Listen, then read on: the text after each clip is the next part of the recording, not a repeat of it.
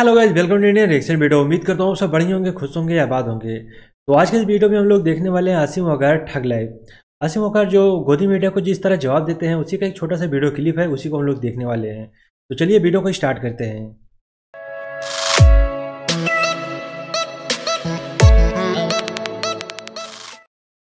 अरे सुनिए सर हमारा गठबंधन किससे है आपके चैनल गठबंधन बिल्कुल मोदी जी से है गोदी मीडिया सारा।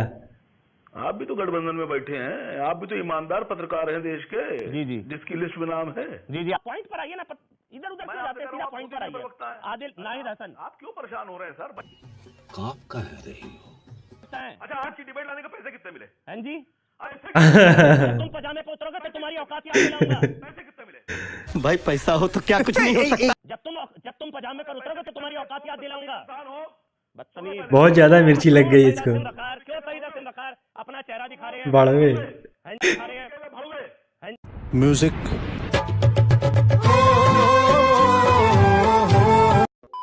वालेकुम hello guys welcome to Bill Talks यारो कैसे हो आप सब? दोस्तों आज का ये वीडियो आसिम वखार की ठगलेफ होने वाली है। आसिम वखार एआईएमआईएम के नेशनल स्पोक्स पर्सन है बीइंग एआईएमआईएम के नेशनल स्पोक्स पर्सन आपने इनको कई बार देखा होगा न्यूज़ चैनल पर गोडी मीडिया की बेइज्जती करते हुए। आसिम वखार का होम टाउन उत्तर प्रदेश है और उत्तर प्रदेश में इलेक्शन की गर्मा गर्मी चल रही है और गोडी मीडिया की बेजती भी।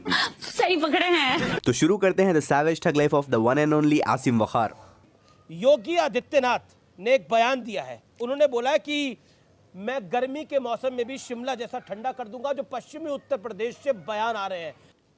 हाँ योगी जी ने जो बयान दिया है कि वो शिमला की ठंडक उत्तर प्रदेश ले आएँगे, मई, जून में भी ले आएँगे, इस पर एक मशवरा छोटा सा दे रहा हूँ, आपके न्यूज़ एटीन इंडिया के ज़रिए से पहुँचा दीजिएगा।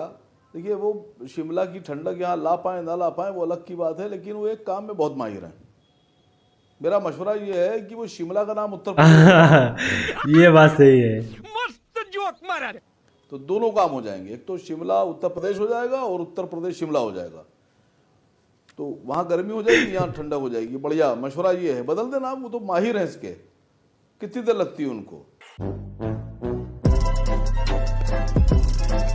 वोट मांगते हैं उसकी तो बात रखनी पड़ेगी ना वकार साहब। हाँ सर हमारे लिए देश ऊपर है और दल बाद में लेकिन यही सवाल मैं आपसे पूछ रहा हूँ कि आपके लिए आपकी तनख्वाह बिल्कुल है, सही। है। देश ऊपर है? चापलूसी चापलूसी ऊपर है या देश ऊपर क्यों?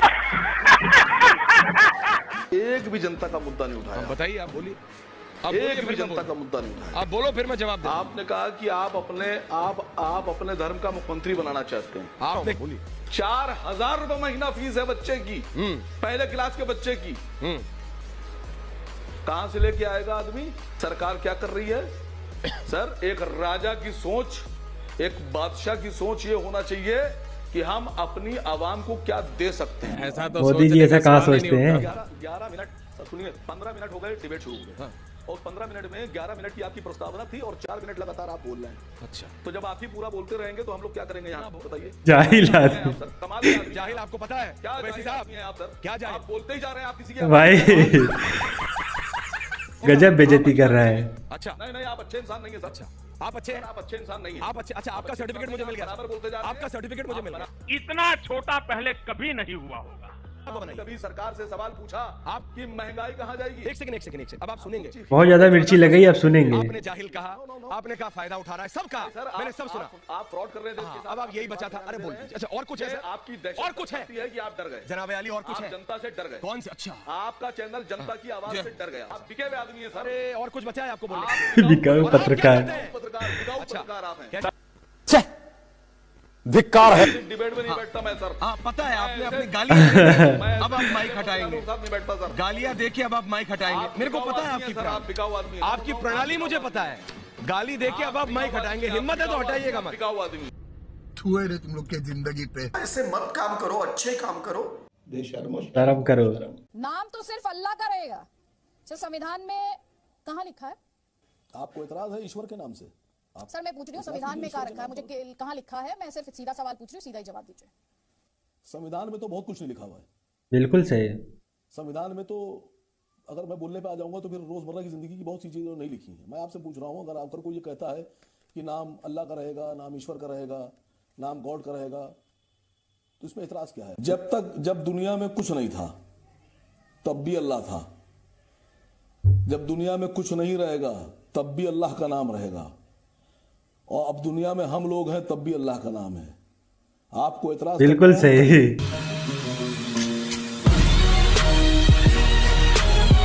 क्योंकि अब आपके पास देखिए देखिए जी वाले हो गए हैं ऊपर से खाली। आप सर्टिफिकेट अब उनका दिमाग काम नहीं कर रहा है कि कैसे बीजेपी के पक्ष में माहौल बनाया जाए। और आप आप हम लोग को बिठा के फंसाने की कोशिश कर रही हैं हिंदू मुस्लिम हिंदू मुस्लिम हम लोग कर नहीं रहे। यू आर राइट ब्रो वहाँ थोड़ा सा विषयांतर हो रहा है इसलिए आपके पास ये समझने के लिए आ रहा हूँ मैं। राम जी करेंगे क्या बेड़ा पार? मैं सारे विषयों को हटाकर सिर्फ़ इतना कहना चाहता हूँ। देखिए सच्चाई यह है कि भारत में अगर राम की बात नहीं होगी तो कहाँ अमेरिका में होगी? क्या बात है? इस बात पर क्या तालियाँ नहीं होनी चाहिए? ये बड़ी अच्छी बात कही आप। रोज खतरे में ही रहता है। लोकतंत्र कई लोग तो कहते हैं भारत में लोकतंत्र है ही नहीं। तानाशाही आ गई इस तरह के आरोप लगाए जाते हैं सर। अगर हिंदुओं को घर छोड़कर जाना पड़े तो सर तब लोकतंत्र खतरे में नहीं आता। तब बात इतना हल्की हो जाती है क्योंकि वो हिंदू है। मैडम बहुत अफसोस की बात है। कि भारतीय जनता पार्टी की सरकार में प्रधानमंत्री जी हिंदू गृह मंत्री वाले। वाले हिंदू रक्षा मंत्री हिंदू विदेश मंत्री हिंदू सारे मुख्यमंत्री आपके हिंदू सेना अध्यक्ष हिंदू पुलिस कमिश्नर आपके हिंदू और उसके बाद भी अगर आप हिंदुओं की सुरक्षा नहीं कर पा रही हिंदू खतरे में है तो फिर आप अपना जो है वो क्या बोलते हैं उसको? इलाज कराने। वाह भाई। सब चीज़ें। बेहतरीन। आज आपने ये दिखा दिया कि आप धार्मिक चश्मे के अलावा किसी को नहीं देख सकते। इसको कितना ज़्यादा मिर्ची लग जाती आप है। तो बिल्कुल सेकुलर चश्मे से देखती हैं आप तो बता ही नहीं रही हैं। आप तो इतनी देर से बार बार पूछ रही हैं कि हिंदू खतरे में हिंदू खतरे में मैंने बताया तो कैसे हिंदू खतरे में? मुझे बताइए मैं पूछ रहा हूँ कि अगर प्रधानमंत्री हिंदू हैं गृह मंत्री हिंदू हैं रक्षा मंत्री हिंदू हैं मुख्यमंत्री हिंदू हैं उसके बाद अगर सही बात है जब सारे लोग हिंदू हैं तब भी खतरे में है। लानत है तुम लोग पे लानत। उनको छोड़िए बाकी ज़्यादा बड़ा दुश्मन कौन तो है? योगी या प्रियंका? बीजेपी या कांग्रेस? जो लोग देश को बांट रहे हैं देश के भाईचारे को खत्म कर रहे हैं देश में हिंदू मुस्लिम करके देश को तोड़ना चाहते हैं हमारे दुश्मन वो लोग हैं। बीजेपी या कांग्रेस? कौन तोड़ रहा है देश को? कौन देश को बांट रहा है वकार जी? बीजेपी या कांग्रेस? अब आपसे आपसे बेहतर कौन जानेगा? क्या करें वकार जी? आपसे वकार जी? आपसे बेहतर किसको पता है? कांग्रेस की बात कर रहे हैं आप। आपसे बेहतर किसको पता है? आप बीजेपी का नाम लेने से डर रहे कांग्रेस का नाम लेने से डर रहे वकार जी? हम लोग साहब डरते नहीं है किसी से क्योंकि तो हम लोग आपकी आपकी लाइन क्लियर लेते थी। हैं वो डरते हैं सर। बिल्कुल। तो फिर खुलकर बोलिए ना आप। जो तनख्वाह लेते हैं वो डरते हैं। तो तो फिर- आपको पता है तनख्वाह कौन लेता है उसको मैं तो तनख्वाह लेने वाला का भी नाम नहीं ले रहा हूँ। तो फिर बोलिए ना आप किससे किससे लड़ाई किससे क्योंकि आप सबका दुश्मन एक है योगी जी अगर मैं गलत नहीं हूँ। या आपकी लड़ाई बीजेपी से ज़्यादा है कांग्रेस से ज़्यादा है? लेने वालों से। जी? हमारी हमारी हमारी लड़ाई हमारी जैसे है दल्ले। से तनख्वाह लेने वालों से। दूल्हे भाई आना तुम्हारा। के समाप्त करो दस सेकंड में। मेरे पास एक मणिपुर का व्यक्ति कल मिला मेरे को जब मैं आ रहा था यहाँ तो मणि एक उत्तर प्रदेश का लेबर मिला मुझे। उसने मुझे बहुत बड़ी बात कही। उसने कहा भाई साहब योगी जी आएँगे। मैंने कहा क्यों? क्या आपको कैसे लग रहा है? गोदी उन्होंने कहा, "भाई साहब, अ, अ, ऐसा है कि हम बीस रुपया कमाते हैं तो बीस रुपया घर लेके जा पाते हैं। लाभ तो दिया सो अलग मगर जो मैं कमाता हूँ रास्ते से कोई मेरा थैला छीन के तो भागता नहीं है।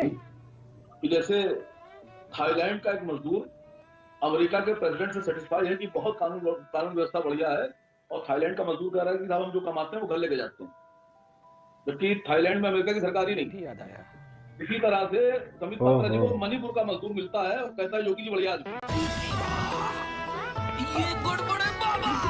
अरे मैं मणिपुर से आ रहा था उत्तर प्रदेश का मजदूर मिला मुझे। और दिल्ली दिल्ली की दिल्ली भाई कमा तो मिला मणिपुर रहा दिल्ली में। ये फंस गया आप क्यों ऐसी बातें करते कमा हैं नहीं रहा दिल्ली में कमा रहा दिल्ली में मिला मुझे। अरे मुझे दिल्ली में मिला। जब मैं गाड़ी लेके आ रहा था तो उसमें मिला मुझे। दिल्ली में तो आम आदमी पार्टी की सरकार है साहब। भैया मुँह निकल जाएगा हमारा ऐसा करेंगे तो। तीन परसेंट के राजभर। मुख्यमंत्री बनेंगे। छह परसेंट के निषाद मुख्यमंत्री बनेंगे पार्टी बनाएँगे। पाँच परसेंट के जाट पार्टी बनाएँगे डिप्टी सीएम भी बनेंगे सीटें भी लेंगे। मौर्य चार परसेंट उनको भी दिया जाएगा। आप बीस परसेंट है मैडम। वो जो आप एक कुर्सी पे बैठे हैं दूसरी कुर्सी पे आप पैर रखे हैं तीसरी कुर्सी पे ये बाजू रखा चौथी पे ये रखा पांचवी कुर्सी पे आपने जाट बिठा लिया छठी कुर्सी पर आपने राजभर बिठा लिया कुशवाहा बिठा लिया। हमारी कुर्सी कौन सी है मैडम? हम खड़े रहें। क्या करें हम? मैं पूछ रहा हूँ आपसे। हमारा पहला एम भारतीय जनता पार्टी को सरकार से बेदखल करना।